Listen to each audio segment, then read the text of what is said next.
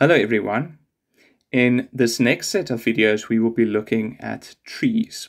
And the goal of this video is to introduce decision trees, which are used for classification. In the next video, I will introduce regression trees.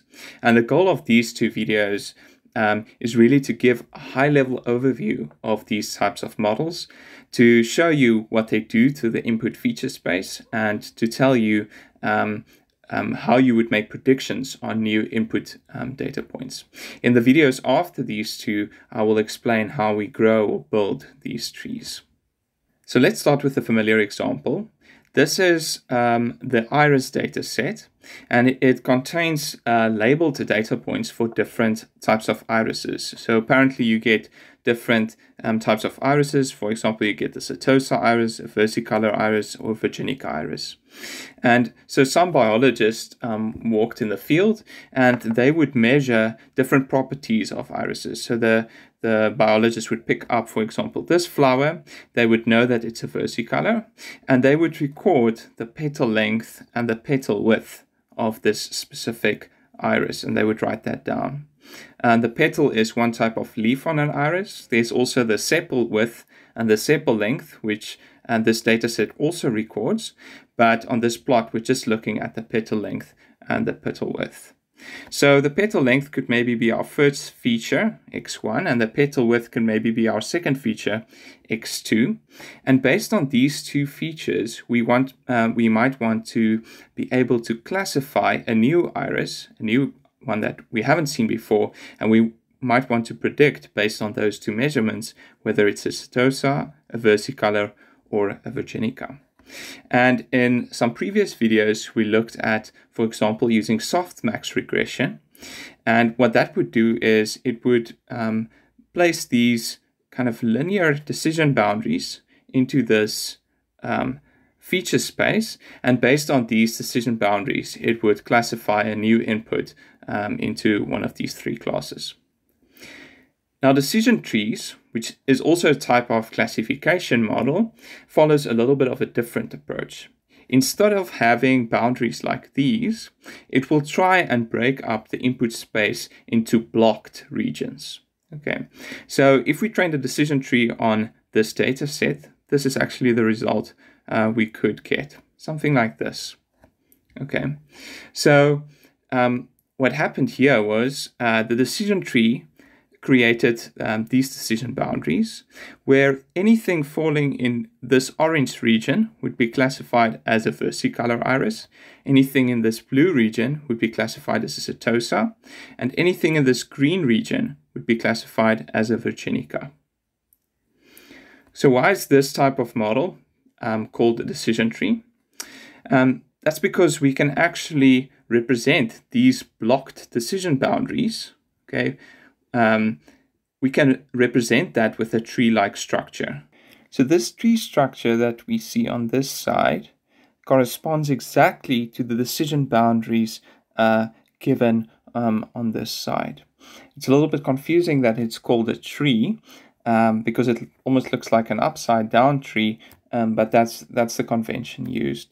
And each of the nodes here at the end would be called uh, leaf nodes.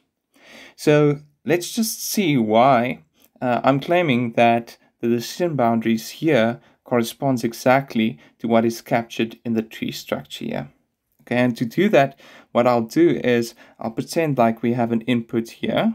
We have a flower that's not in our training data set, and we want to see uh, what the decision tree, which type of flower it classifies this input as. Is this thing a setosa, a versicolor, or a virginica, according to the tree? Okay, so this specific flower has a petal uh, length of around um, six, I would say, and a petal width of around one.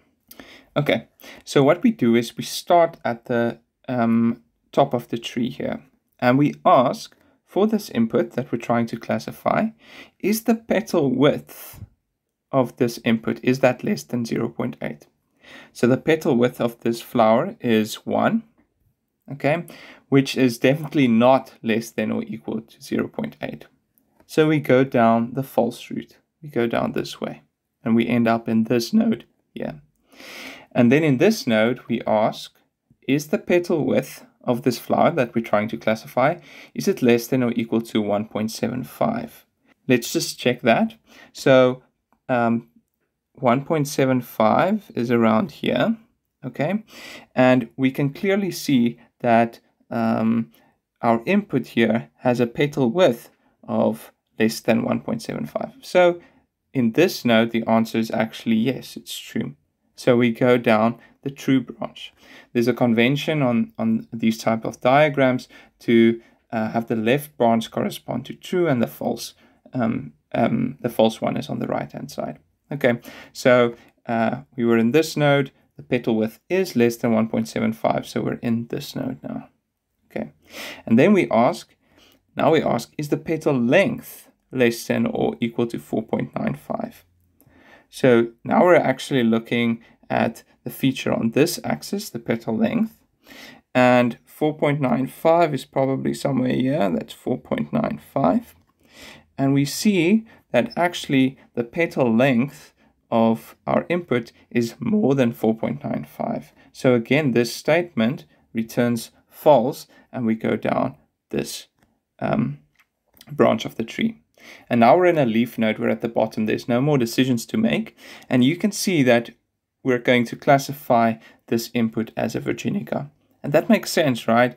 This whole green region here that is uh, that's the Virginica region, and our input is clearly in that region. Okay. Now, um, we can step through this even uh, just a little bit more and just make sure that we understand this uh, region concept. So we went through a number of decisions. Okay.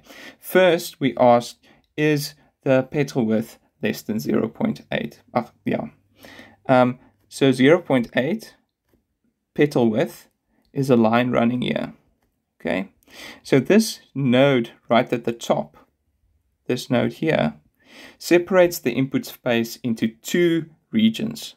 One at the bottom, where the petal width is less than 0.8, and one at the top, where the petal width is more than um, 0.8. Okay.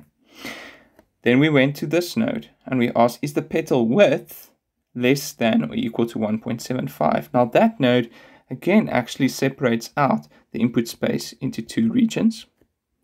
Now remember that this node is already above 0.8, so we're somewhere up here, and then we're asking, is my petal width less than or equal to 175, 1.75?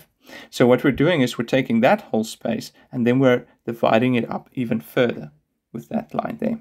Okay, then we went down this route. Okay, so we know that in this route we're somewhere here, somewhere in that space. Okay, and then this route says, is my petal length less than 4.95? Okay, so now it's saying, let's separate up that space into two regions. Uh, one where the statement is true, okay, which is um, here, and another where this statement is false, which is here. Okay, so you can actually see that any input in this block would be classified as Virginica. Any input in this block corresponds to this leaf node. Okay, so we could maybe um, make it green to just highlight that. Being in this leaf node, which corresponds to this region, right? Okay, let's look at the other uh, leaf nodes. This leaf node here, it's actually quite easy to see. This is any input where the petal width is less than 0.8. So this is any input where the petal width is less than 0.8. So that leaf node corresponds to the blue region. Okay, and then finally, this leaf node corresponds to the top region here. So that's also green. We could maybe give these regions names. We could call this region region 1. Okay, we could call this one region 2. We could call this one region 3. And we could call this one region 4. Okay, so that decision tree was grown based on two features, the petal length and the petal width. You could also grow a decision tree or build a decision tree on all the features, the petal length, the petal width, and the sepal length and the sepal width. Okay, so then your inputs would, won't be just two dimensional, they will in fact be four dimensional. And your tree could then maybe be a lot bigger. This tree was actually um, constructed on all um, four features. And you see that the tree asks questions about the petal length, petal width, but then also about, for example, this node asks a question about the sepal length. Turns out I don't think this tree asks anything about the sepal, sepal width, so I just decided that that's a fairly useless feature, so I won't use it. So that was a brief introduction of decision trees and how we can use them to do classification. In the next video, I will give um, a high-level introduction of regression trees.